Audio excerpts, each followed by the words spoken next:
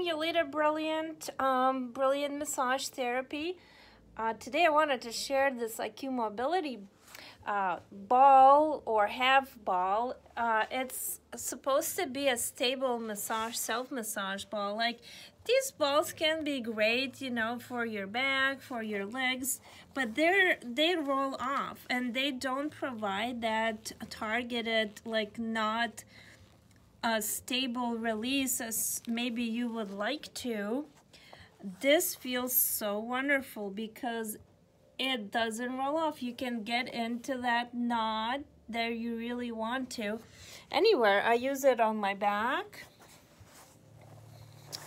Uh, with paraspinals, trapezius. Um, you can kind of wiggle in there you know, that's the area a lot of people get tension in. Um, piriformis, you know, you can kind of target the tension. Any knot with this, it's not going to roll off. Uh, highly recommend. Um, I got this on Amazon. It's I can't remember how much was it, but it's a totally worth investment. If you know you do stretching routine, you can incorporate some self massage. Um, it's not gonna replace real massage. I'd still recommend getting regular massages from certified massage therapists.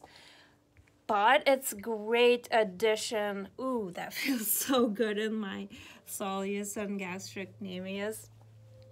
But been there. Oh, so yeah, we are located in Burlington, Vermont. If you're local, we would love to see you.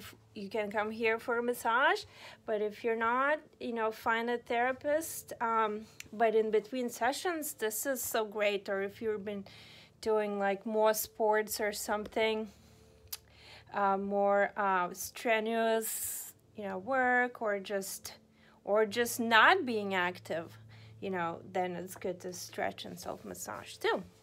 Thank you for watching. Let me know if you use something like this in the comments. I'd love to know. And I'll see you soon. Bye.